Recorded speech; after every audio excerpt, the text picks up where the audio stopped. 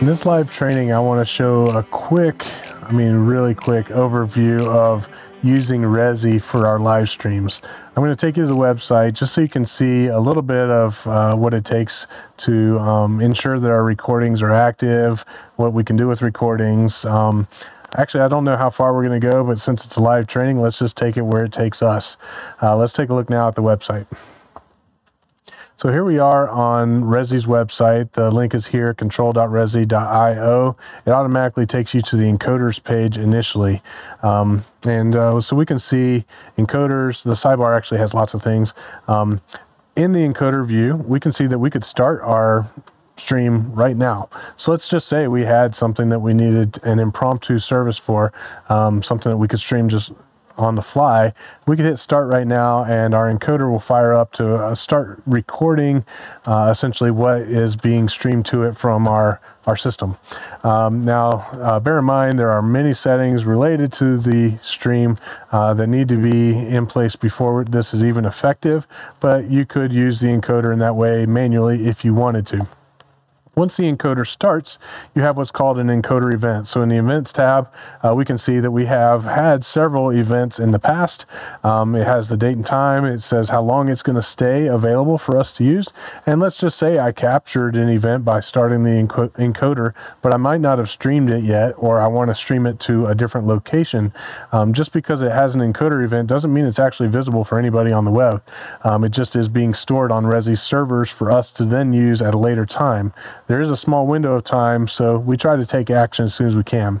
Uh, this Sunday Service Live uh, option, for example, I could choose to start a web event and essentially take what was in that encoder from that particular event and put it out to the web right now um, if I wanted to. I could also watch this particular event um, or get more details about it. There's a lot you can do as, as you can see in the pull down menu. Um, but this isn't generally how I would effectively use uh, Resi to stream our events. I would rather have a scheduled event to make that happen. Down below uh, the encoder events section, we have web events. So encoder events have captured the Resi servers, but they haven't gone anywhere. Web events are the ones that have actually gone somewhere. So you can see in the web events section, we have a lot more that is going on. And even one encoder event could relate, um, relate to like numerous web events. Uh, for example, I might capture something on Thursday evening during our capture service um, on the encoder, and I may actually send that thing out to my production website for an internal uh, unlisted view that everyone gets to see. I may then later in the weekend uh, trim it down and send it back out so that it could be a uh, on-demand service through YouTube at our main uh, website. The web events are the events that actually go out to be seen on the web. Uh, we have it linked to our YouTube account. we have a couple YouTube accounts, kids, students, college, uh, production, our main service. Each of those YouTube accounts have been linked to our Resi. We also have a Mercy Hill Facebook page uh, that our events get streamed to as well. And we can just see a result of some of the events uh, that we've already done in the past. These will disappear in a certain amount of time. We can watch each of these events right here on Wes Resi's website if we wanted to. We can get analytics about them, um, although uh, the analytics only apply to using the Resi web player. Um, the analytics do not show us information related to like YouTube or Facebook views. Um, so just that's here. Um, whether you do anything with it or not, just know it's there. If we ever uploaded a video, um, or even something that is captured through our streamer, we can see all of those videos here um, within a certain window of time. Uh, we can see them right here in the video review section. And from here, we, all we can do is simply watch them. Um, the scheduling tool is one that uh, already has pre-programmed events, as you can see, um, and we use the scheduled stuff just to make it so that it's a hands-off live stream experience for our production teams. Uh, they don't have to think about when the streamer is going to go live. They don't have to make it go live, it just goes live. Um, so we can take a look at an event like, let's say this one here um, is for um, a weekend service that starts on Thursday. Um, this Thursday capture uses a particular encoder profile. It uses uh, this 8-channel H.264 encoder profile. The 8-channel piece is what makes it possible for us to use our um, broadcast audio equipment for the, the broadcast um, mix um, as opposed to just having like an aux feed coming out of our soundboard. Now the 8 channel version does also grab an aux feed as well as room mics and a keyboard. Like there's multiple channels that we feed it, um, but there are two specific channels that are broadcast mix and that's channel 7 and 8. You can also see in the particular event that's going to be a result of this schedule, we are using channels 7 and 8 um, specifically for everything that we're sending out to the web on YouTube because channels 7 and 8 with the broadcast mix is going to be the best sounding mix that we can offer. Um, there are a few other things. It talks about when the event starts. The encoder starts at a different time than the stream. Uh, so in this case, the encoder starts at 5:45. It's recording a little bit before we actually go live at 5:52. Um, now this live is going to an unlisted server, uh, unlisted video on YouTube. Um, only I have access to that particular one, so I can pick and choose who gets to see that um, as an event happens. Having that control allows for us to make sure that um, information that's being shared within the room at the time of this encoder event um, only goes out to those who have um, you know, privilege to, to hear those things. Um, this particular event is a raw playback. Um, it starts way before our service starts. It ends quite a ways after our service ends. It is really just a capture of the evening. Then at a later time, I can go into the events page and I could find that particular event. I can watch it and put start and stop points on it, and then I can rebroadcast it to a different audience or um, you know, any audience I choose. Um, but I can do a couple of little edits before it actually goes live. Um, so instead of giving a, a, whole three hours worth of content, I can narrow it down to a very small uh, section of content that we could use. Um, under the social media section, it just shows all of our various YouTube uh, and Facebook accounts. Some of these accounts require updates, um, like they, they kind of expire at a certain time. And so we have to verify that those things are good. Um, but we can add multiple um, social media accounts through here.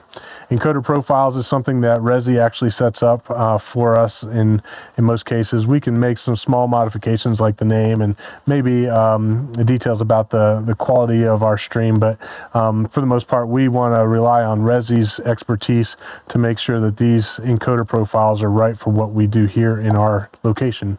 Event profiles are something that I create as needed, and each of the different types of events may have a different profile. So in a case like this, we actually have um, some events that may be just for our staff. We have other events that are for students or our missions team.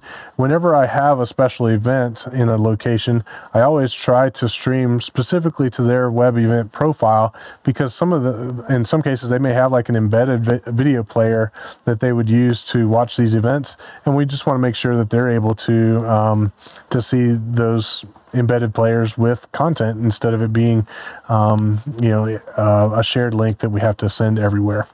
Um, so those are event profiles. We have destination groups. These destination groups are important whenever we use the Resi encoder that's built into ProPresenter. And we have used that. As you can see, we've used it for college, uh, for students. We use it in our production team uh, for various things. Um, but um, it, a destination group is very specifically used for the ProPresenter plugin with Resi we pay extra for that um, to be able to have that function and we we do utilize it um, but at regional we broadcast straight from the hardware encoder instead of from ProPresenter it's just a much better experience. Uh, users contacts analytics those things are just basically internal stuff. Um, no need to cover any of that in our tutorial today.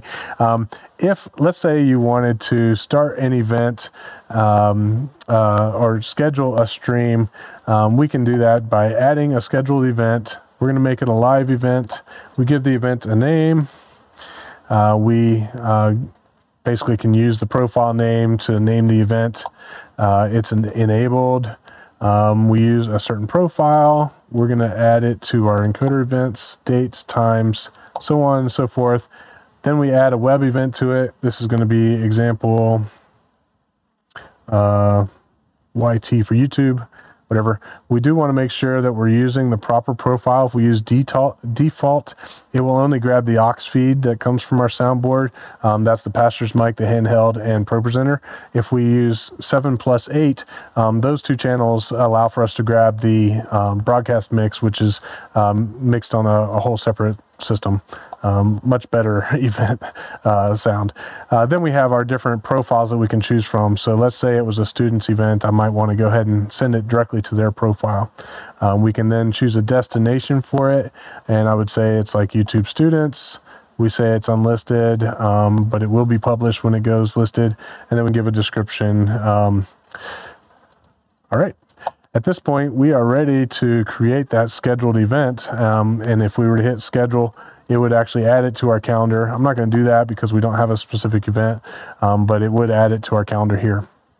You can also see like on Sunday, uh, we have in dark green events that will go live. Um, these are enabled streams, and this is a live stream from our locations at two, two morning services using our broadcast mix. Below that, we have these with a little uh, scratch through and they're lighter colors.